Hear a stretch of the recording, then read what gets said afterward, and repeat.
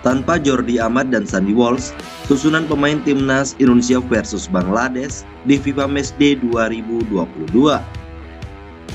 Namun sebelum lanjut, bolehlah kalian untuk like, komen, dan subscribe agar kalian tidak ketinggalan informasi menarik seputar timnas Indonesia.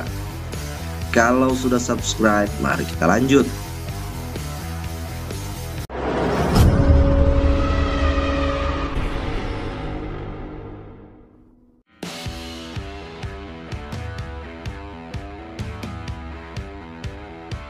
Berikut ini susunan pemain timnas Indonesia versus timnas Bangladesh di laga uji coba bertajuk FIFA Matchday.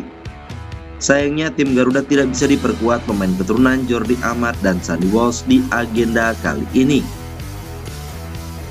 Keduanya masih menjalani proses naturalisasi yang tidak kunjung rampung. Kedua pemain tersebut tengah berada di pemusatan latihan timnas Indonesia jelang laga FIFA Matchday. Namun, mereka tidak bisa diturunkan oleh pelatih Sintayong. Sebagai informasi, Indonesia bakal menghadapi Bangladesh pada laga bertajuk FIFA Matchday. Laga tersebut digelar di Stadion Sijalak Harupat Soreang Kabupaten Bandung, Rabu 1 Juni 2022. Agenda tersebut digelar sebagai bagian persiapan jelang kualifikasi Piala Asia 2023 8 14 Juni 2022.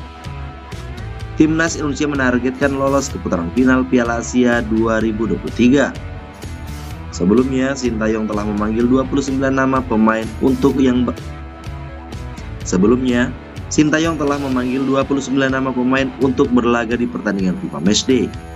Pemain yang mendapatkan panggilan tersebut sejatinya tidak jauh berbeda dengan skuad di Piala AFF 2020 dan SEA Games 2021.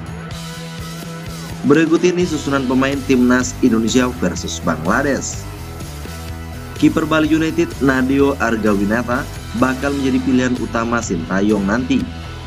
Lini pertahanan diisi oleh Asnawi Mengwalam, Elkan Bagot, Fahrudin Arianto, dan Pratama Arhan. Sementara itu, lini tengah bakal ditempati oleh trio Stefano Lillipali, Mark Lok, dan Ricky Kambuaya.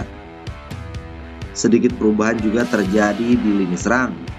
Kusintayong bakal menurunkan Witan Sulaiman, Irfan Jaya dan di ujung tombak bakal diisi oleh Dimas Raja. Bagaimana menurut kalian?